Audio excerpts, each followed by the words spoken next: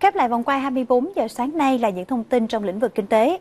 Thưa quý vị, đến thời điểm này, toàn ngành thuế ước thu ngân sách đạt 88,3% dự toán pháp lệnh. Nhiệm vụ đặt ra với toàn ngành là trong những tháng cuối năm sẽ quyết liệt hoàn thành vượt mức 5% dự toán được Quốc hội, Chính phủ giao trong năm 2019. Nội dung này vừa được Tổng cục trưởng Tổng cục Thuế giao tới từng đơn vị cá nhân trong buổi họp Ban chỉ đạo chống thất thu ngân sách và thu hồi nợ động thuế.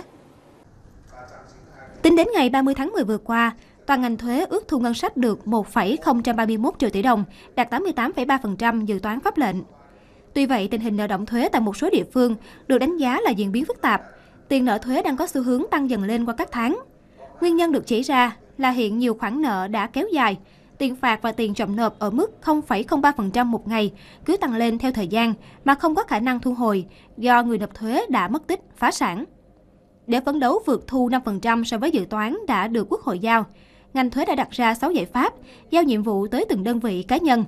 Thực hiện chế độ báo cáo định kỳ 3 ngày một lần, tình hình, kết quả, số liệu cụ thể thực hiện và những khó khăn để có thể tháo gỡ kịp thời, không ảnh hưởng đến kết quả thu ngân sách.